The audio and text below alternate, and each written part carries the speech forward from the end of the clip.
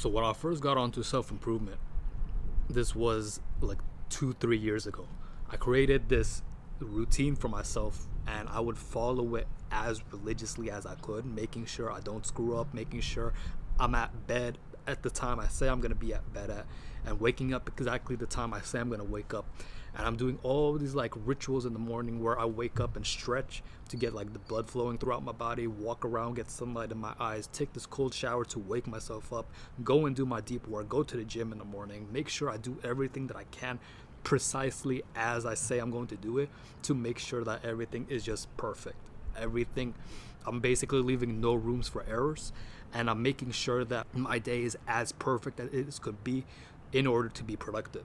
I would always struggle to stay focused. I would always struggle to actually stay productive because I would basically at this before I even created the schedule, all I would do to stay productive is go sit at my computer desk and make myself be productive, which it, it really didn't work because all I would want to do is just go and play video games and stuff, go and scroll on Instagram and stuff. So I basically looked back and thought to myself, okay, when was the most productive time of my life? When was I able to actually sit and focus with zero distractions? And I realized the best time for me to do that was in school. And it makes sense because you know you go to school around 8.30 or something 8.35 i'd have my first period which would be an hour and a half long and my second period would start around 10 another hour and a half 11.30 is when I'd finish my second period, go to lunch, come back. I basically still have my entire schedule memorized just because it's so ingrained in my head by following this routine over and over and over again for like five, six years straight. So I figured, okay, why don't I just do that? Why don't I just create my own schedule that I can follow day in and day out? So that way I actually have some structure in my day and I know, okay, at this time I'm supposed to be doing this, at this time I'm supposed to be doing that and it works. You definitely can take it a little overboard though, and I've done it way too many times where I'm following my schedule and I fall off of my schedule where there's one day where I don't actually eat the diet that I'm supposed to be eating. I eat a whole bowl of carbs or something. I ordered something from DoorDash and it was like a burger or something, which mentally made my brain so much slower than it would have been if I hadn't actually done that and I stuck to my diet whenever those times happen, typically I'd have something to do right after I eat. I'd go on a walk and I'd just do a little bit more work because I would mess up on my diet. I would mentally tell myself, okay, I can't even be productive because I hate all these carbohydrates. My brain is slow and I won't even be able to focus. And so either A, I would just skip my work entirely because I would just convince myself that I wouldn't even be able to focus, or B, I would try to focus, but because I told myself I wouldn't be able to focus, I just ended up not focusing at all. It made it so difficult for me to just stare at my screen and just stay productive. All I wanted to, to do was just go grab my phone and just go scroll on TikTok or something. That's the problem with these routines. That's the problem with optimizing because you feel like if I'm not optimizing my time, if I'm not optimizing my diet, my routine, my sleep, my workouts, then I'm not going to be as productive as I'd like. I'm not going to hit the same caliber of success that I could have hit had I been optimizing, which you really don't. Because here's the thing you can have a poor diet and you can still do work. You can have poor sleep and you can still do work you can have terrible workout routine but as long as you're just working out consistently you are still going to build muscle. Like your routine doesn't really matter as much as you say it does. Like obviously you need to be able to do the work when you say you're going to do the work. But that's the most important part. Everything else is just like complementary to the work you're doing. And absolutely if you have like the best diet in the world if you have the best sleep in the world you're absolutely going to crush it. You have like a workout that you're consistent and you're going to crush it. But that doesn't mean that if you fall off or if you unoptimize or whatever, you're not as optimal as you'd like to be, it doesn't mean that you're not going to be productive at all. Like, let's say you're supposed to be getting your eight hours of sleep, right? You miss one day because you just can't sleep. You wake up at four in the morning not being able to sleep. You've gotten like four hours of sleep, but you are wide awake. You are just energized at that moment why are you going to tell yourself, oh man, I didn't even get enough sleep. I can't actually do anything right now. I'm going to try laying in bed. I'll lay in bed for like two hours. I still can't sleep. So I'm just going to go and grab my phone or something. That's typically what ends up happening. Don't lie to yourself. So rather than doing that, you can just basically just take the L. Okay, I got no sleep, but I might as well just work since I'm up, right? Since I'm up, I, why don't I just go drive around the city because I haven't done that in a while, right? And you can apply that to everything. Your workouts. How many people do you know have the exact same workouts? It is basically zero unless you see people following trends and stuff. Everyone wants to do the same workout because this one influencer said to do this, but that influencer said to do this, so I want to do this instead.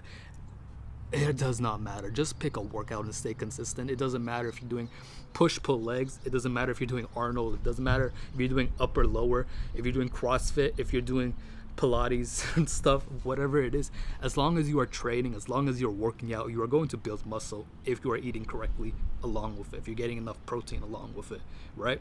So you don't need to be overcomplicating it. You don't need to be saying, well, Jeff Nippard said if I do more than eight sets today, then I'm not going to build muscle. Like, sure, the science aspect does like play a role into it but it really doesn't affect you as much as you think it would especially if you're a complete beginner and you haven't been training for like a decade. That is the problem where you think that I need everything to be perfect. I need my diet to be perfect, my sleep to be perfect, when it really doesn't. Because you know you're not perfect. You know that you'll fall off from time to time and you want to create this perfect routine for yourself, which is fine, right?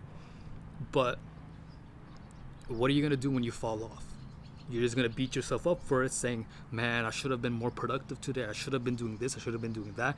And what ends up happening is you just end up falling off of your schedule entirely. Now you've gone a week without meditating. You've gone a week without talking to people because felt like you felt this need to resort back to your old habits which shouldn't be the case. If anything if you do create like a schedule for yourself where i'm gonna do this at this time this at this time this at that time take it with a grain of salt, knowing the fact that, okay, this is my ideal schedule, that it may not work 90% of the time, but if it works, it works perfectly. Mm. My diet, I'm going to stick to my diet as long as possible. But if I slip off once in a while, that is completely okay. I'm just going to get back on and just keep on grinding it out, right?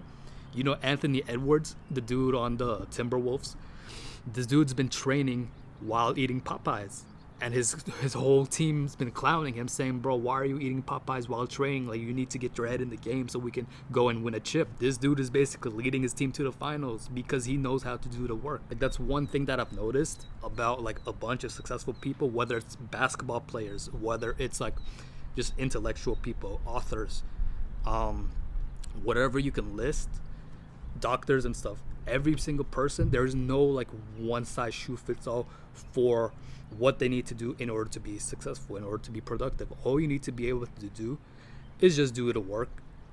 If you want to be big in the gym, you just gotta work out, bro. If you want to be healthier, all you have to do is just eat healthier. Because I've noticed basically no formula. There's no optimized formula for you to be successful because there are people who are successful but they drink. There's people who are successful but they smoke. There's people who are successful but they watch Netflix for two hours a day. There's people who are successful, but they're eating Popeyes before every basketball game, right? So there is no right or wrong answer for what you need to be doing in order to be successful. But the one thing that does separate everyone else from the like 99% is that they know how to lock in and do the work when they need to do the work, which is honestly the most important aspect of everything. If you know how to do the work, if you know how to sit down and just work, then you're good.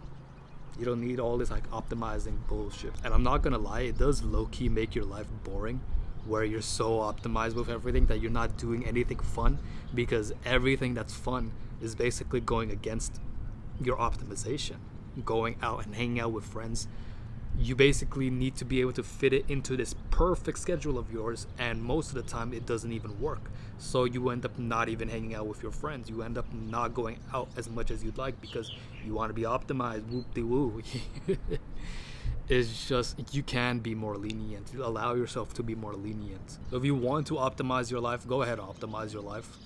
It's going to help you out tremendously especially if you're starting from a point where you basically don't know how to stay productive is going to completely change your life.